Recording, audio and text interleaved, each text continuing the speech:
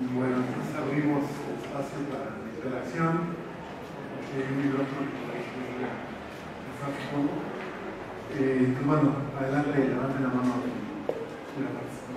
Acá ya. Aquí. Una hora.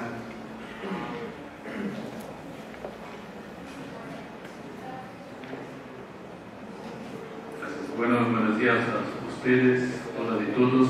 Pienso que empezamos muy bien. Congratulaciones a Javier Esteban por esta vida de lectura que ha sido magistral. Es una mirada más de procesos globales como unión demorada, hasta casos muy sencillos como ha presentado Andrea, el profesor Peña y el profesor de Colombia. Eh, verdad que estoy eh, ainda un poco emocionado que ha presentado Andrea, pero ya lo conozco hace mucho, ¿no?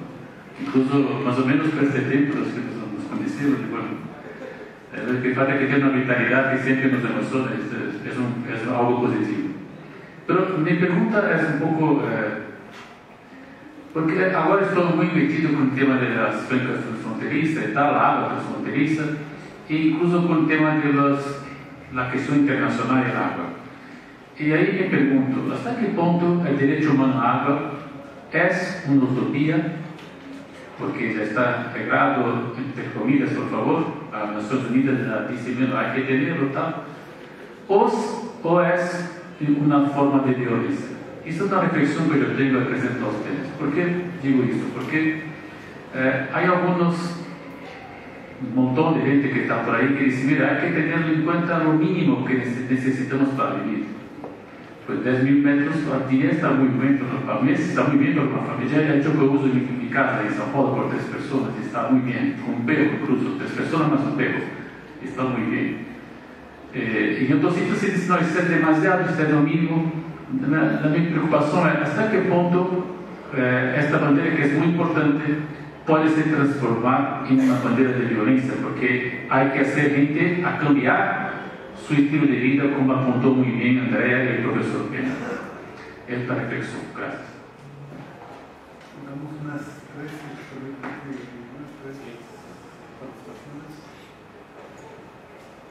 ¿Y otra persona interesada en participar?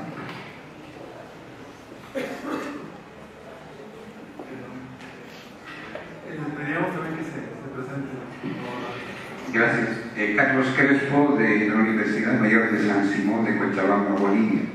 Eh, yo quisiera continuar la reflexión sobre el derecho humano al agua.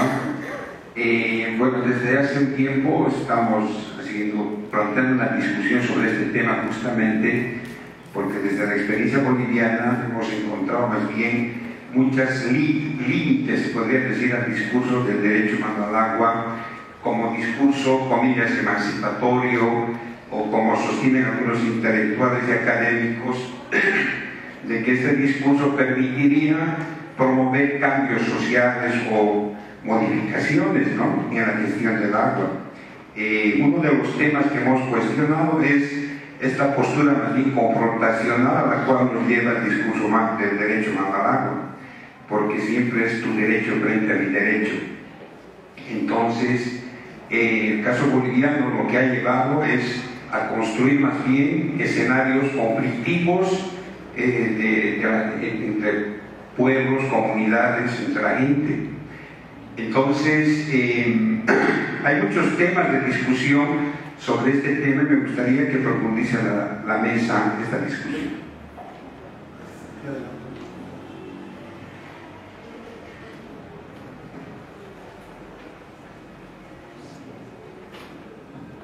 Por eh, Gracias. Buenas tardes eh, con todos y todas. Muchas gracias por las presentaciones que fueron bastante interesantes. Mi pregunta sobre todo para, para el profesor de Moral, em, a partir de su presentación de la, de la discusión de Ulrich en, en, el último libro que publica sobre la Europa alemana, que le llama él, em, hace un planteamiento que es necesitamos democratizar Europa revisando la relación entre los estados y Bruselas. Básicamente ese es el argumento. Eh, creo que estaríamos de acuerdo con, que hay que democratizar Europa. Em, la pregunta es sobre todo por el lado de las utopías. Usted mira que estos movimientos políticos o la sociedad civil en general está hasta cierto punto, em, de alguna manera, pasando del planteamiento de utopías al planteamiento de mecanismos concretos. Y pregunto esto porque en el caso del Ecuador eh, lo que vemos es que la, sociedad civil fue muy eficaz en plantear nuevas utopías, pero vemos una dificultad muy grande de implementar cuestiones como el derecho humano al agua. Y si bien hay algunas experiencias, eh, como nos presentaban al final, de mecanismos concretos eh, que se podrían utilizar, esta misma sociedad civil y los movimientos políticos, digamos, más o menos alineados a la izquierda, mostraron en el caso del Ecuador dificultad de reconocerlos como válidos, de adoptarlos y de implementarlos. Gracias.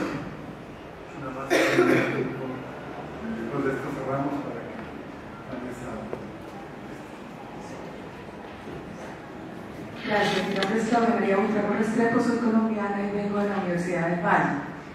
Eh, quería mencionar frente, frente a lo que asumimos, yo considero que lo es, como un logro de la ONU eh, de haber considerado, eh, de, de haber institucionalizado el derecho humano al agua, me parece que también es importante tener en cuenta como esa otra mirada que tiene la misma ONU y que creo yo que es la que termina hegemonizando el manejo del agua en el mundo y es que al mismo tiempo que algunos, eh, algunas ramificaciones de la ONU defienden el derecho humano al agua, creo que las principales ramificaciones de la ONU, que son las que efectivamente toman las decisiones que influyen en los países en el mundo, miran el agua es como un bien económico que debe manejarse desde el ámbito del mercado.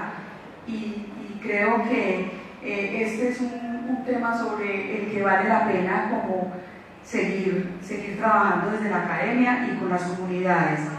Y eh, otro tema que tiene que ver con el que planteabas es como los tribunales internacionales que toman decisiones sobre conflictos que se presentan entre países y compañías transnacionales terminan dándoles una mayor importancia jurídica, soy abogada de ahí sesgo, terminan dándole una importancia mayor eh, a todos los derechos que se derivan de los tratados de libre comercio en el marco de la OMC frente a los tratados internacionales de derechos humanos.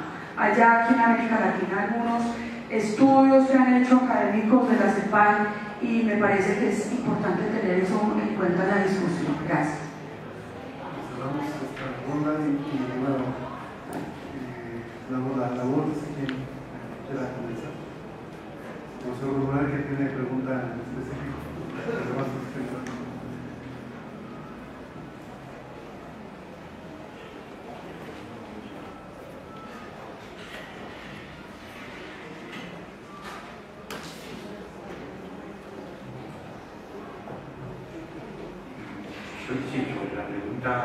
más específicamente dirigida a la, a la experiencia mm, Yo creo que estamos en un momento, digo, un momento complejo, que las cosas se hablan de meses, de años. Hay una sensación de ventana de oportunidad, no de procesos de años, de procesos de, del año del año 15, 2015.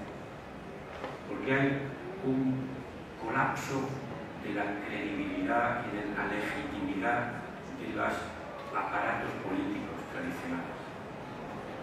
En Grecia, en España recientemente, una,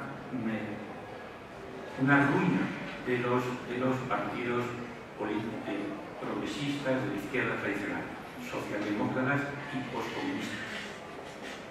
Y una emergencia de movimientos sociales en estos últimos cuatro o cinco años que de momento lo que han provocado ha sido el descrédito del sistema y especialmente de la fracción progresista de, tradicionalmente progresista de ese sistema conduciendo a consolidación de gobiernos neoliberales.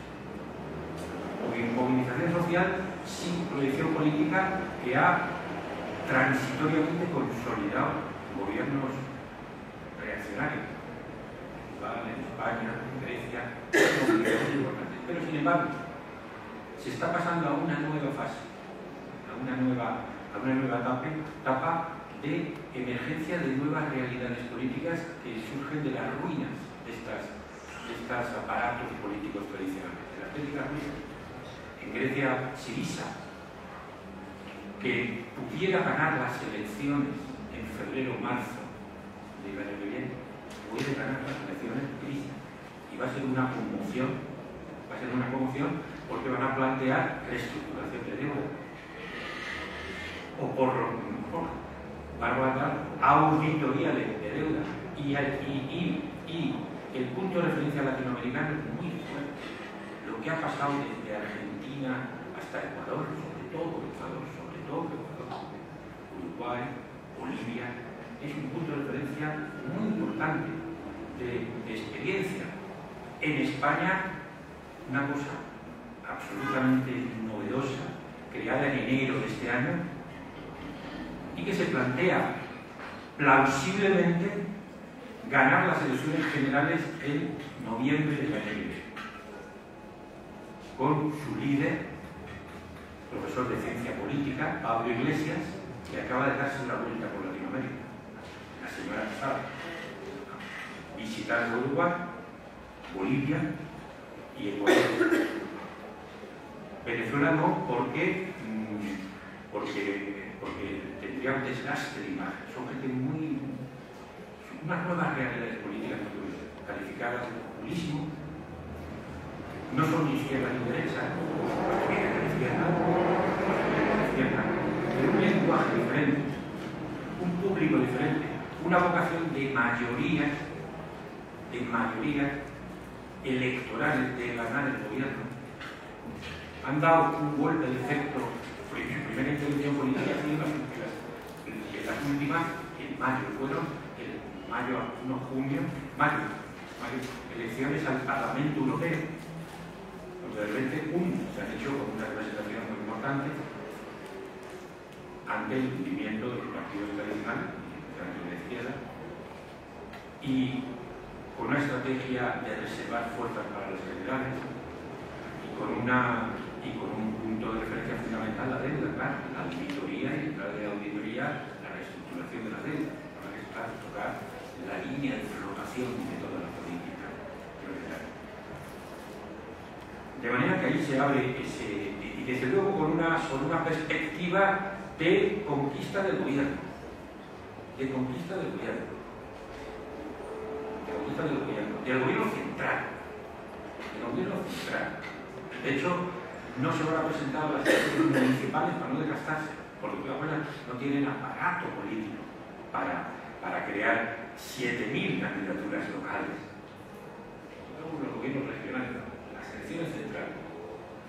Y paralelamente a esto, los movimientos sociales lo que han dado lugar a diversas eh, experiencias de lucha local, de carácter más reactivo, bueno, crecientemente eh, exitosas, en el sentido, por ejemplo, de parar, ya hablando del, tema del campo del agua, de parar procesos de privatización o por lo menos de dificultarlos mucho, de dilatarlos, de problematizarlos. En ciudades importantes, mujeres, ciudades de 150, 200 mil habitantes,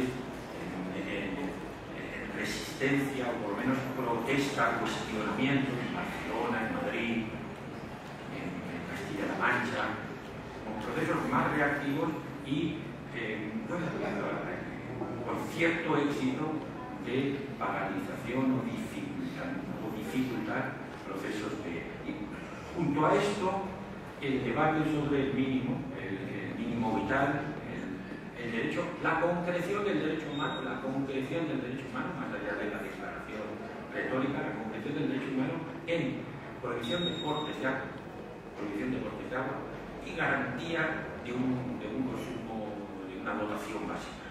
No, no como, porque eso está más o menos establecido, más o menos, porque se desconocen las cifras, es muy, se desconocen las cifras, a través de, servicios sociales no a, no a través de esta fórmula, sino el reconocimiento derecho, de derecho ciudadano, en la línea de lo que se ha comentado. De lo que se ha comentado. Quiero termino con una referencia a, si me, preguntaran pues, de todo ese proceso que he descrito, de lo que estoy hablando, alguna manifestación en términos de violencia, pues son múltiples, evidentemente, desde haber tenido que habilitar comedores escolares en verano para que los niños puedan comer, para que decenas de miles de niños tengan garantizada una alimentación en los momentos de vacación escolar, lo ha pasado en la región autónoma, en Andalucía, con un gobierno tal, un gobierno de, de, izquierda tradicional que lo ha hecho. Eh, bueno, pero múltiples manifestaciones, pero una especialmente sensible, expresiva, que es la, el proceso de autoculpabilización de los ciudadanos que caen en la, eh, en la marginación. Autoculpabilización y la invisibilidad de esa situación. La invisibilidad de la realidad de hogares sin luz eléctrica y sin agua por vergüenza de manifestar. Es un fenómeno que se habla, que se, estudia, se reflexiona sobre él, una realidad que creo que es expresión de esta violencia ejercida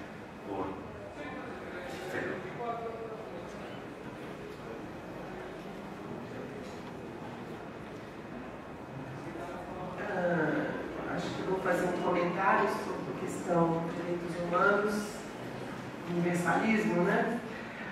Uh, queria lembrar aqui o filósofo Jacques Rancière, Rancière é de justiça, né? Então, trazer um pouco para a discussão a, a, ideia de que quando a gente pensa na, na, justiça, a gente pensa de uma forma né, de justiça distributiva, né? uma certa aritmética das partes, né? E o Rancière, ele, ele chama a questão, a questão da diferença e da necessidade da gente incorporar, incorporar também ao conceito de justiça uma certa geometria das partes, a gente considerar formas de ser, fazer e viver diferenciadas na sociedade, né? E uh, a, a, a justiça, né? no sentido de que a essas formas cada qual do seu tamanho, do seu formato, seja dado o direito né, de existir enquanto tal. Né? É, e não simplesmente a partir de uma contabilidade né, é, que é hegemônica do certo pensamento ocidental, né, que, que parte de uma certa perspectiva aritmética. Né? das quantidades que se vão distribuir igualmente na sociedade. Então, o nosso grande desafio, eu acho, é a gente pensar também né, nas diferenças e como é, um conceito de justiça que reconheça essas diferenças na sua própria especificidade, né? e a todos seja dado o direito de existir enquanto tal na sua especificidade. E aí eu acho que a água não pode ser dissociada dos modos de ser, ser e fazer, né? diferenciados no mundo. É, lá nos grupos onde eu estudo, seja grupos afetados pelas represas hidrelétricas ou pela mineração, que é uma nova fronteira da mineração estamos investigando em Minas Gerais, né? Ah, as pessoas perdem o acesso à água, perdem, portanto, acesso à agricultura, ao cuidado com os animais, a todo o modo de vida, não é só água para dessedentação, mas a água que sustenta todo o modo de vida, né? Todo de vida relacionado aos vários espaços ecológicos associados aos grupos.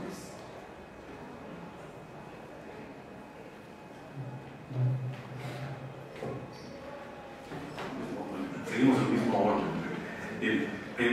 Yo aprovecho para lo siguiente, añadir lo siguiente, me parece que está muy ligado con lo que se plantea. Me parece que cuando vemos el caso mexicano, pero creo que el caso más dramático es el caso griego, lo que muestra es una terminación del mito democrático occidental. yo, creo que no es posible hablar del tema de violencia y de utopía sin traer a, la, a la invitación a la democracia. Lo que el caso europeo, y en particular el caso europeo periférico, muestra es que la democracia es una democracia secuestrada, una democracia de élites, una democracia en suspenso, o como queramos llamarle, pero es todo menos democracia. Y en nuestros países, y en ese sentido México creo que es bastante representativo, es una democracia que nunca terminó de ser. Y que estos acuerdos que se toman hoy para violentarse desde el poder exactamente mañana es una muestra, creo que, palpable. Dicho esto, que era lo último que iba a decir, hace rato los, este, los aplausos, que les agradezco mucho. Este, yo, quiero plantearles la utopía aprovechando un poco la, pregunta sobre el derecho humano agua. Lo que participo yo en una campaña que se llama en México eh, Agua para todos y todas, Agua para la vida. Esa campaña se ha planteado sobre la base de que en México hubo una reforma eh, constitucional que llevó a la Constitución el derecho humano al agua que se había aprobado en los organismos internacionales. Sobre esa base, el gobierno, bueno, la federación, en las cámaras, el Congreso de la Unión, tenía la obligación de plantear reformas legales, plantear una nueva ley para hacer viable eso, puesto que ya estaba en la Constitución. Sobre esa base, nosotros nos hemos agrupado, un conjunto de académicos, pero sobre todo organizaciones sociales, para plantear una propuesta de agua. Y aquí viene el asunto de la utopía. Nos parece que la utopía tiene que tomar formas que movilicen y eduquen, pero que efectivamente sigan planteando esto, esto que me parece, seamos realistas, exijamos lo imposible. ¿no? Ese me parece que es una, una divisa que debe ser planteada. Y lo primero que discutimos es si ese derecho humano al agua es el derecho humano al agua que tenemos. No será la primera vez que nos pase, ¿no? Una vez que los organismos internacionales aceptaron que la sustentabilidad era buena idea, empezamos a discutir sobre si esa sustentabilidad es la que es una buena idea o tenemos otra propuesta. En el caso del derecho humano al agua, nosotros lo que proponemos, este grupo, que es amplio, en el caso de México, es que el derecho humano restringido al agua que consume individualmente una persona no es un derecho humano al agua.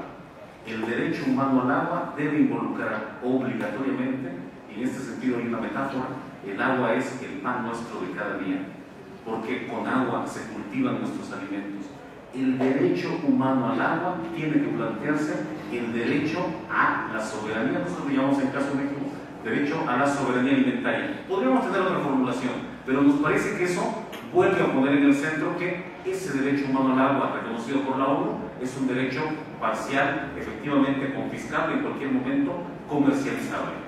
Y la- el segundo elemento es que el ser humano no es solo un humano que come y bebe, es un humano que vive en salud. Y para eso nosotros planteamos que derecho humano al agua lo traducimos como derecho humano a la vida, a la soberanía alimentaria y al consumo saludable de líquido. ¿no? Esas, esas tres cosas para nosotros son derecho humano al agua.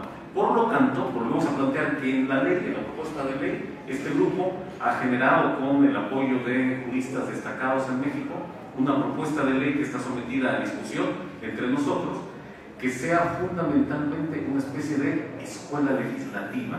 Es decir, que no nos interesa, porque además no es fácil, ¿eh? llevar en México, se ponen todas las trabas, todos los candados, para que ninguna ley como iniciativa ciudadana realmente entre y sea votada por la gente.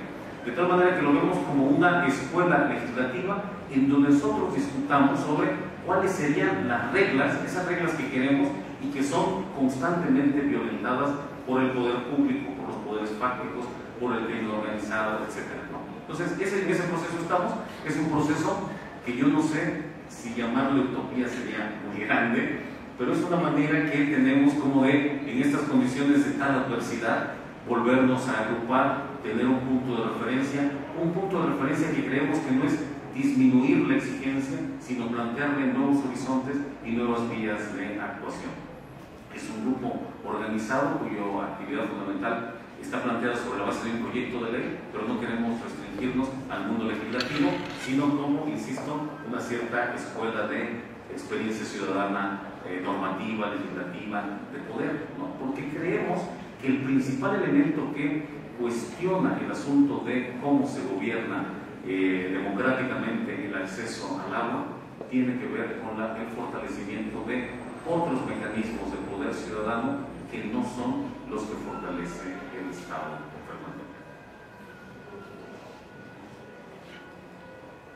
Bueno, pues muy, interesante el, debate. Yo comenzaría por contarles una anécdota.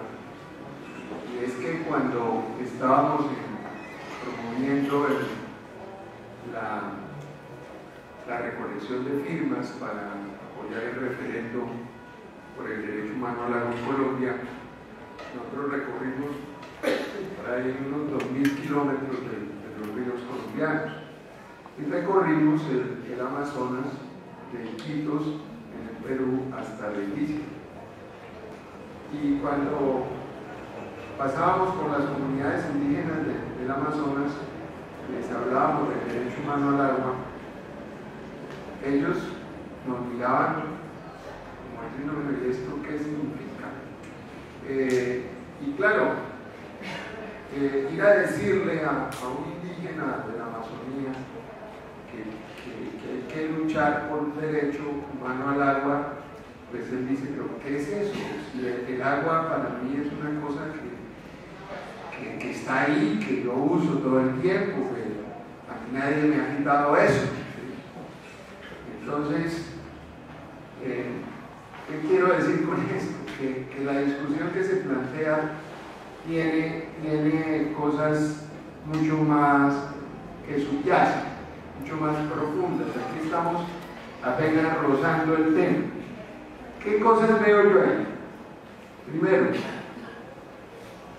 cuando se plantea la- el asunto en términos de derecho, pues estamos hablando de una sociedad, una sociedad burguesa, que organizó las cosas así. Hay derechos. En una sociedad diferente había cosas que ni se plantearían, como pasa en las, soci- en las sociedades indígenas. Ellos no se plantean el problema en términos de derechos. Por eso yo ponía al final una cosa que es bien utópica. Construyamos una nueva sociedad. El problema es cómo construimos eso. ¿Cómo avanzamos hacia allá? Nadie tiene la fórmula. Yo, por ejemplo, tengo que si o tengo no, no lo pongamos en términos de temores. Si Siriza agarra las elecciones en febrero o marzo en Grecia, me temo que de pronto, ahí sí termine no haciendo lo que dice que va a hacer. O si, por ejemplo, en, España, el movimiento, el, ¿cómo se llama? El M. Sí, pero eso está detrás con el movimiento del 15M, que es una movilización con muchos jóvenes, todo el mundo allí, asambleas de mucha gente opinando, eh, se respetan todas las opiniones. Movimiento libertario, igualitario, etcétera. ¿Y en qué va eso? Va en un movimiento político para conquistar el poder del Estado, de este Estado. ¿Y qué se puede hacer después de allí? Yo, por ejemplo, nunca había trabajado en el sector público, soy ahora asesor de la gerencia ambiental de la empresa de acueducto de Bogotá, en el marco de estas innovaciones, ya agotándose rápidamente. Y mi conclusión es que desde el Estado actual es imposible hacer cualquier cosa. O sea, además, no en general del Estado burgués, o sea, la deconstrucción, la destrucción del Estado que existía, del Estado de bienestar, es tan profunda que lo que ha quedado es una administración de contratos, de dineros, etcétera, que, es imposible, es imposible desde allí hacer algo eh, transformador. Entonces, eso, eso es un problema muy complejo que, yo no- que- debemos abordar y debemos abordar con una mente abierta, porque nadie tiene la solución. Eh, lo que ha dicho el compañero Crespo, pues ¿De dónde viene, compañero Crespo? Viene de Bolivia, que es un país en el cual se avanzó, o no sé si se avanzó, en una serie de transformaciones y al final cae en el extractivismo. Evo Morales acaba de decir cuando gana las elecciones que lo mantiene en el poder que va a convertir a Bolivia en una potencia energética. Energética con base en qué? En combustibles fósiles, en fracking, etc. En Colombia se ha levantado una protesta porque el gobierno piensa extender las licencias ambientales para la minería a una mayor velocidad de lo que lo venía haciendo, que ya era bastante rápido, las licencias express. Y en Venezuela se anuncia sencillamente que se va a acabar el Ministerio del Medio Ambiente. O sea, si se quiere, en un gobierno progresista, llamado así como el venezolano, eh, ya ni siquiera licencia express se queda abolido el Ministerio del Medio Ambiente. Entonces, ¿qué, ¿qué, nos está diciendo eso? O sea, son los límites de moverse en un plano político con un horizonte limitado por las estructuras políticas que vienen de lo que queremos superar. Es, aquí hay un problema muy grave. Ahora, yo por ejemplo, pues no me atrevo a, a, plantear recetas universales, cada país tiene sus propias dinámicas, sus propios problemas, etcétera, etcétera. Pero yo, por ejemplo, creo, puede que esté equivocado, que aquí en Colombia los privatizadores, Antesco, que es la asociación que agrupa a las empresas suministradoras de agua, sean públicas, entre comillas, privadas o mixtas, se pondrían felices si nosotros fuéramos y dijéramos, ¿sabe que llegamos a la conclusión de que la lucha por el agua es una lucha que no vale la pena que se equivocara? Nos diría, hombre, fin ustedes están entrando en el plano de lo razonable, nosotros también lo creemos, la cosa no es por ahí. ¿sí? Eh, no sé, me parece que cada situación pues es diferente. Yo lo que creo es que el asunto, como ha dicho aquí el profesor, no se agota en una fórmula, derecho humano al agua, sino que tiene que eh, estar acompañada de muchas más cosas. La propuesta que nosotros hacíamos aquí no era solo eso, ni el mínimo vital gratuito, implicaba, por ejemplo, destinar los ecosistemas, llamábamos así nosotros, claves para el ciclo hidrológico a esa función natural. Si uno analiza eso, pues los ecosistemas claves para el ciclo hidrológico son todos. Y destinarlos a su finalidad natural implica una nueva relación entre la cultura y los ecosistemas. O sea, son maneras a través de las cuales comienzan a sugerirse otros problema. Ahora, si podemos avanzar más rápido y ahorrarnos ese, si se quiere, esa etapa, bueno, pues hagámoslo. Pero el, asunto es que tenemos que mirar en qué realidad estamos, a quién estamos confrontando y cómo lo estamos haciendo. ¿no? Pero, pero desde luego me parece que es una discusión plenamente válida. Me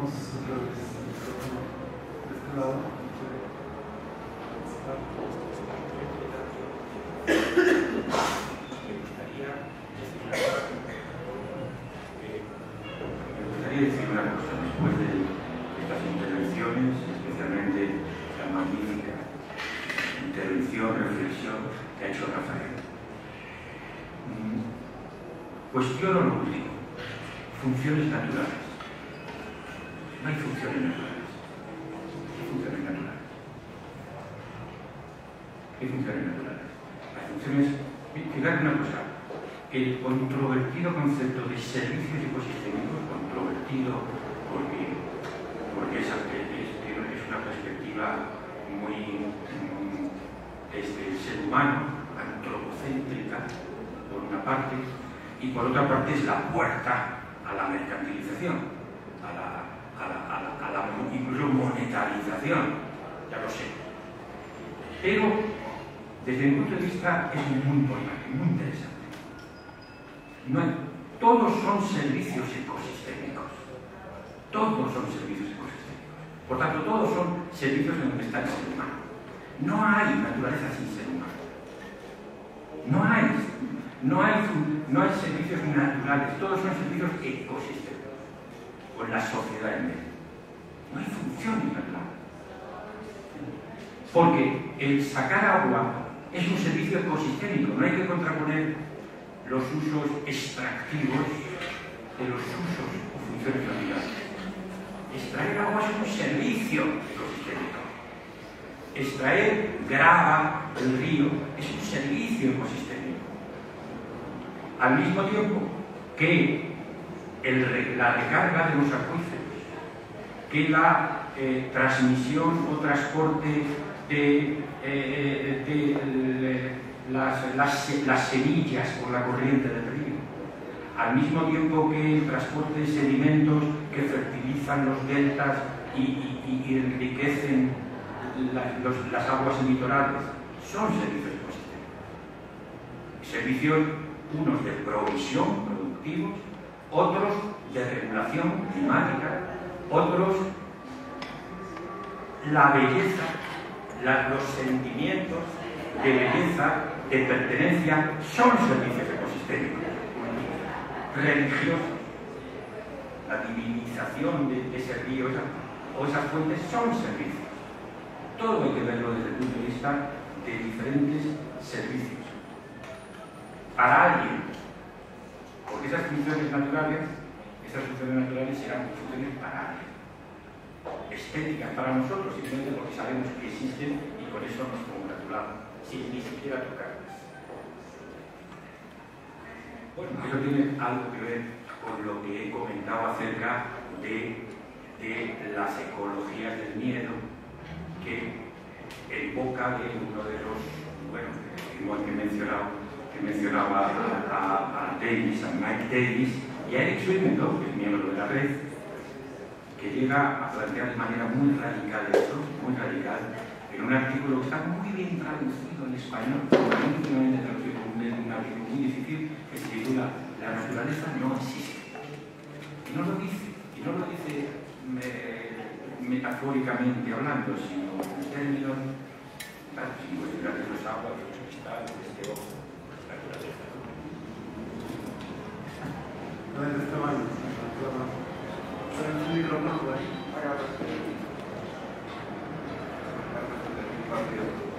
Bueno, creo que ese es un tema eh, complejo y ya hubo un debate, pero en el debate que tuvimos antes, Leandro me acuerdo estaba, no digo del otro lado, pero me acuerdo que le dijiste a Eric, estás exagerando, pues Eric planteó en una reunión eso, que la naturaleza no existe, desde el constructivismo radical, ¿no?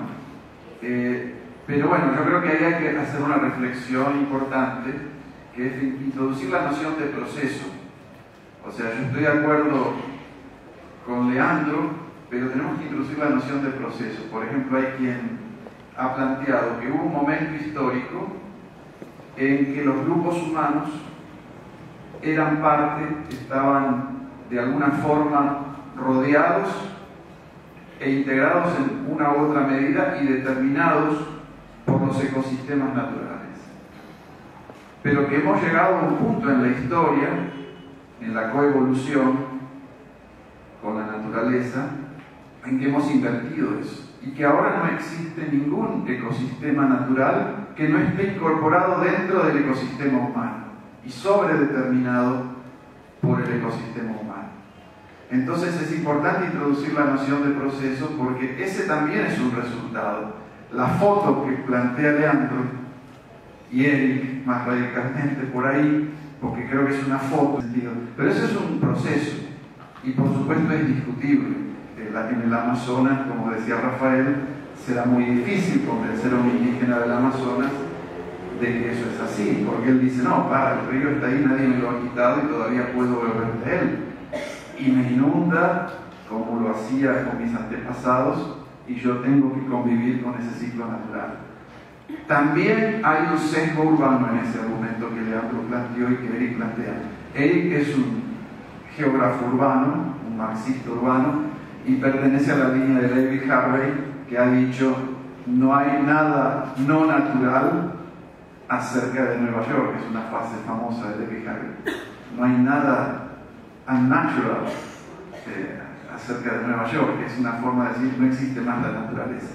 En Nueva York no, quizás va a ser más difícil que eso lo planteemos en otros espacios, pero a nivel de proceso yo creo que es importante ver este tema de la inversión, ¿eh? con historias como de que ya no hay pingüinos ni en la Antártida libres de la contaminación este, humana.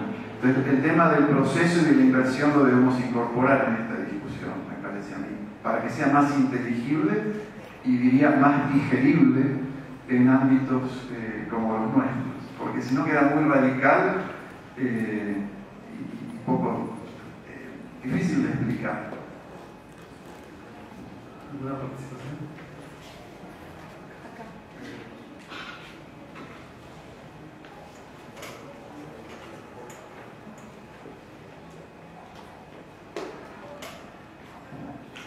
Gracias.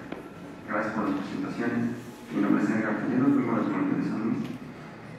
es una cosa que pensaba respecto a esta intervención del profesor Esteban, pero también relacionada a la discusión que es en la línea de David pensando en Marx, de que no existe naturaleza natural, hay una naturaleza histórica, metiendo, pensando en el proceso, cómo se produce el espacio, diría Henry Lefebvre, pensando en cómo se articulan diferentes, no solo elementos técnicos, elementos científicos, sino elementos naturales, y cómo se genera todo un cuerpo o todo un espacio que, se, que produce desigualdades.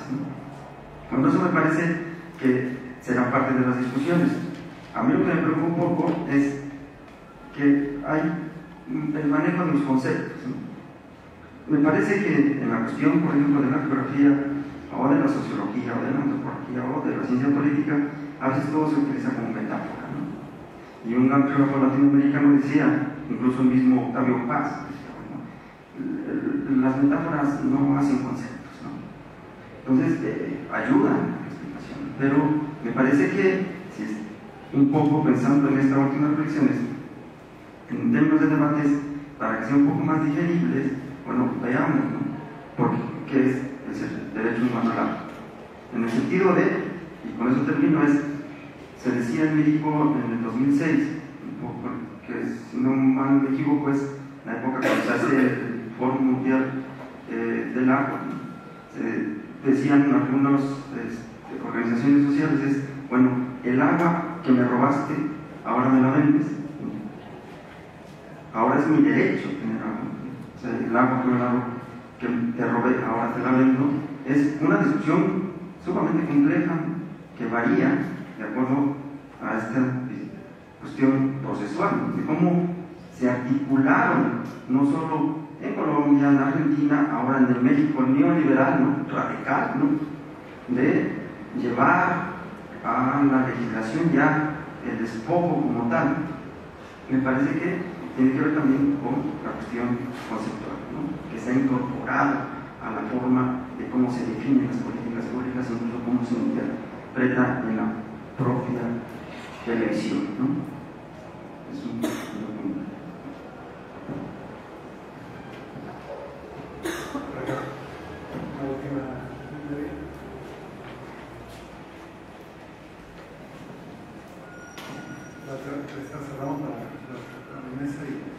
Bueno, muchas gracias por las, las ponencias, realmente son muy inspiradoras para, para pensar, todas las intervenciones también. Eh, a mí me preocupa eh, tanto si es que Leandro piensa como una metáfora o está afirmando eh, literalmente que solo existen o todos los elementos del ecosistema brindan servicio y también si el derecho humano al agua es una metáfora, es un punto de partida, es un techo ¿Qué pasa en una sociedad estratificada donde está, estamos empadronados con el mínimo? ¿Qué pasa si uno se pasa del mínimo? ¿Quién decide cuánto es necesario? ¿Desde qué lugar eh, podríamos estar eh, eh, cayendo en una trampa en, la cuestión del derecho universal al agua y la cuestión del mínimo también, ¿no? ¿Quién lo fija?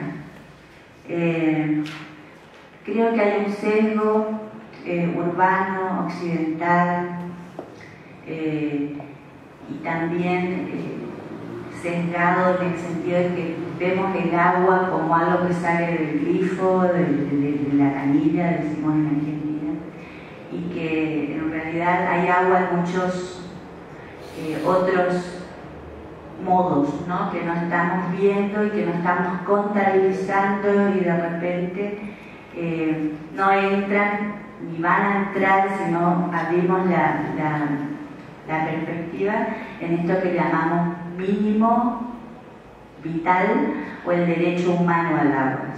Eh, hay agua acumulada, hay agua que fluye. Eh, el cuerpo tenemos 70% agua, pero también los animales acumulan agua, las plantas acumulan agua.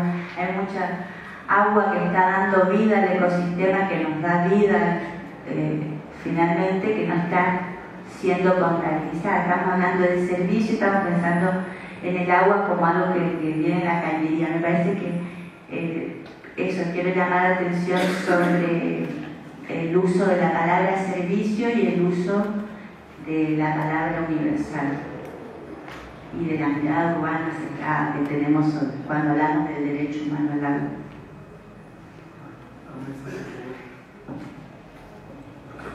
Respecto a lo primero, pero a ahondar excesivamente en el tema, como ha recordado Esteban, discutimos con esto, con el Schwimmerlo, y yo discutía con él, era de los que discutía con él hace dos años, tres años. México fue, México, sí. Luego estuvo Buenos Aires, luego ya vamos a contarnos también por reuniones de Guatemala.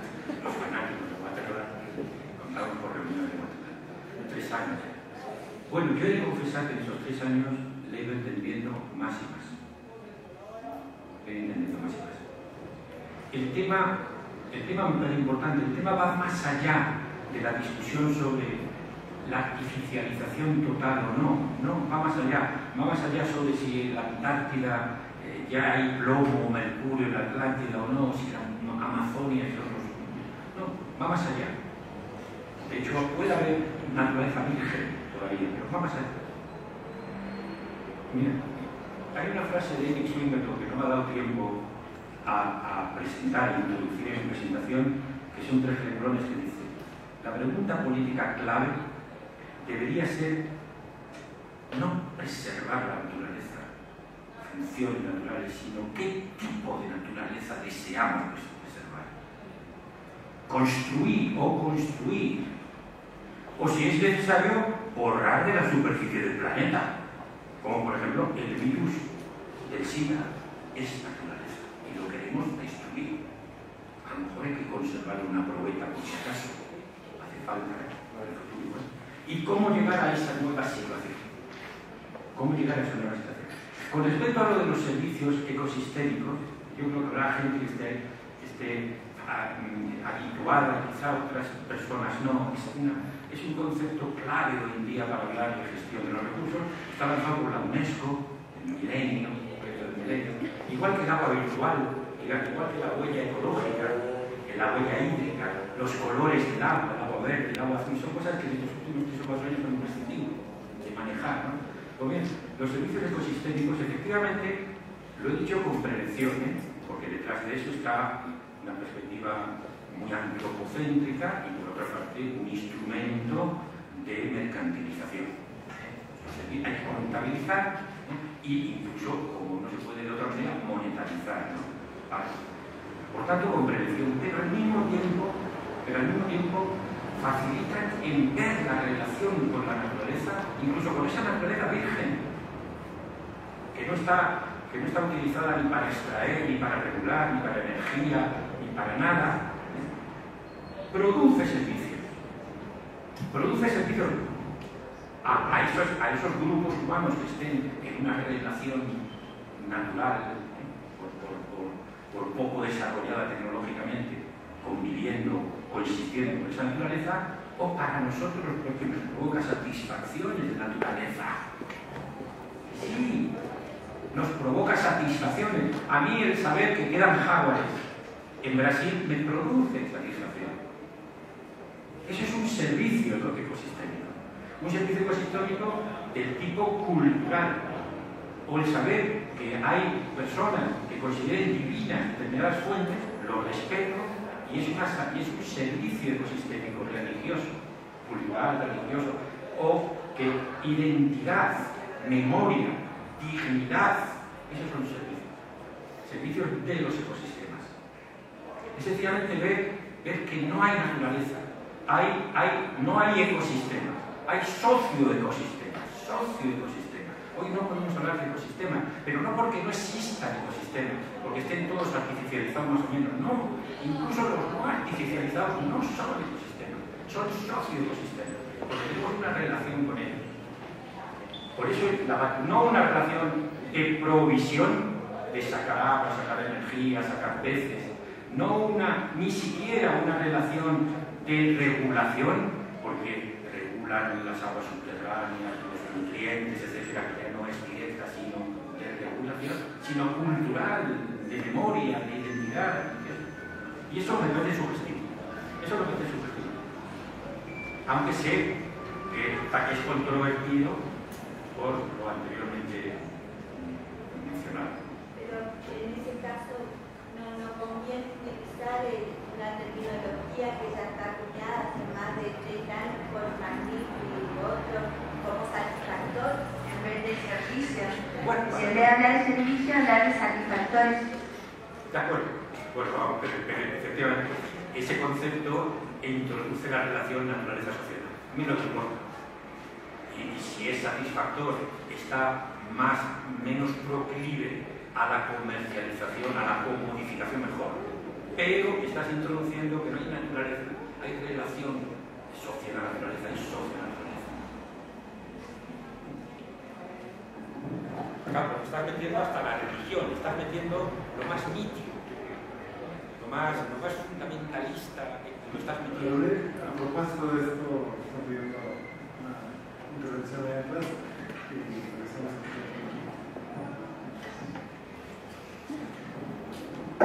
Gracias, mi nombre es Verónica, vengo de la UNAM y soy geógrafa.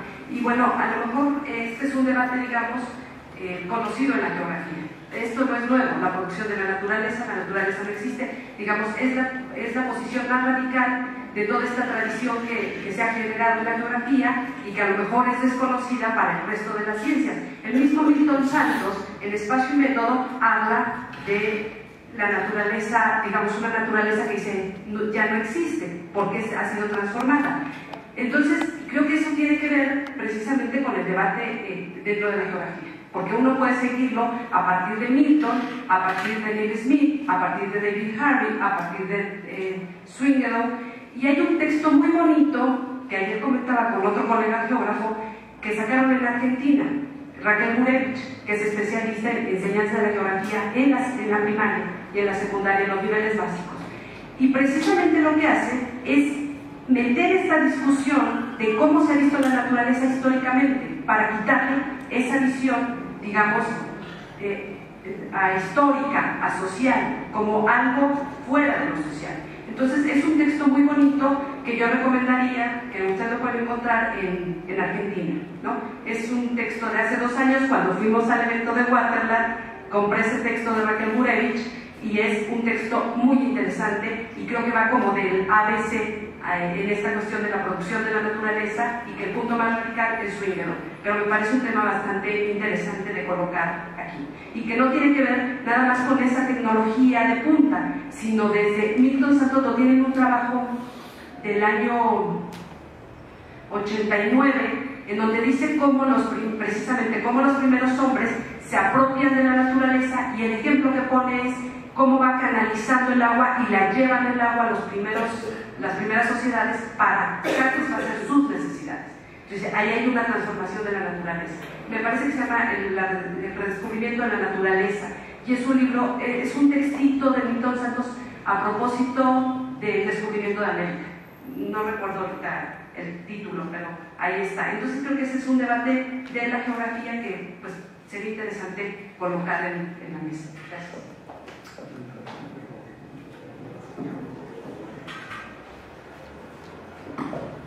No, yo pues creo que es sumamente interesante el, debate que se ha planteado y pues creo que, ya digamos es un buen anuncio de lo que va a pasar en los próximos días y pues pienso que por lo menos para mí ya eh, justifica haber venido hasta acá, poder eh, entrar en este debate. Yo simplemente iba a decir que eh, aquí en Manizales eh, nació y vivió un ambientalista colombiano muy importante, cuya obra desafortunadamente no es muy conocida, es más conocida de pronto afuera que en Colombia, que fue Augusto Ángel Maya,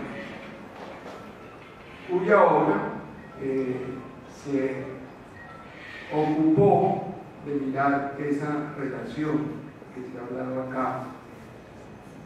Y él proponía una relación entre ecosistemas y cultura,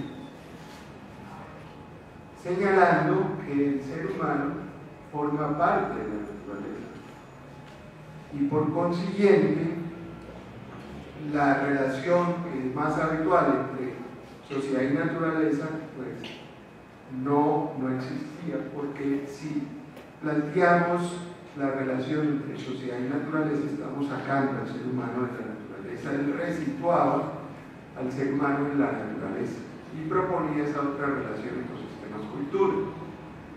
No creo yo que Augusto hubiera resuelto el problema, es un problema muy profundo, con implicaciones no solo filosóficas, sino políticas, porque aquí en últimas, cuando hablamos de socioecosistemas, de servicios ambientales, de derecho humano al agua, etc.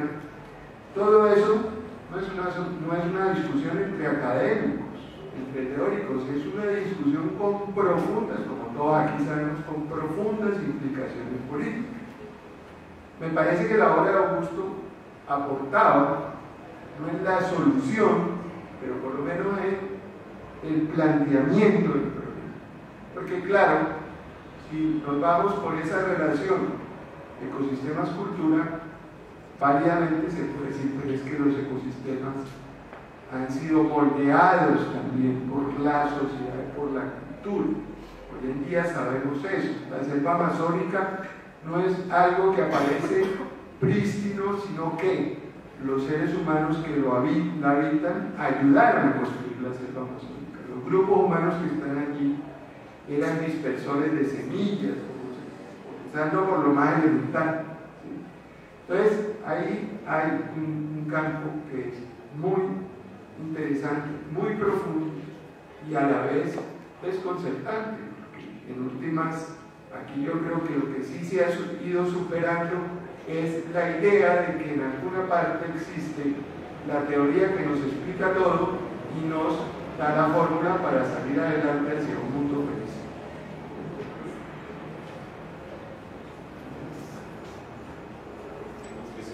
No, no, no, no, yo quisiera decir algo que, que sí me parece muy eh, preocupante, que es, pienso que bajo esta idea puede haber un retorno del optimismo tecnológico, ¿no? Es decir, sobre todo las preguntas como estaban planteadas ahí, ¿qué naturaleza queremos tener? ¿Qué naturaleza queremos evitar? ¿Qué realmente la sociedad nos podemos plantear? ¿Qué naturaleza queremos tener? Nos lo podemos plantear, pero la que finalmente tengamos es motivo de tal cantidad de circunstancias y espontaneidades y cuestiones no previstas que finalmente no es la que la sociedad quiere tener. Y ese ámbito de indeterminación, ese ámbito de eh, incertidumbre es justamente lo que muestra que analíticamente para mí debe seguir siendo planteada este tipo de vínculo entre sociedad y naturaleza.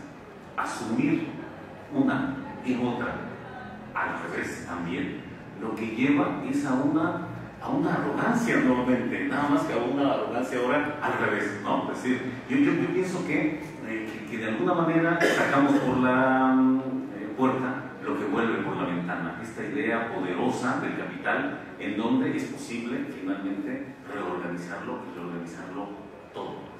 Yo en ese punto, sabiendo que es muy importante la conceptualización de los espacios geográficos, la forma en que los procesos se desarrollan, etc., yo sí llamaría la atención sobre que no eh, flotemos un poco en una cierta nube eh, cientifista propia del siglo XIX, XVIII, no, positivismo, de que efectivamente podemos moldear la naturaleza a imagen y semejanza social, porque lo que nos ha mostrado los últimos siglos es que a duras penas podemos comprendernos nosotros como qué cosas queremos. Yo creo que hay que tener un poquito de moderación, ¿no? cuando menos un poco como, cuando menos por precaución, por precaución. Gracias. Yo creo que, bueno, no sé si... eh,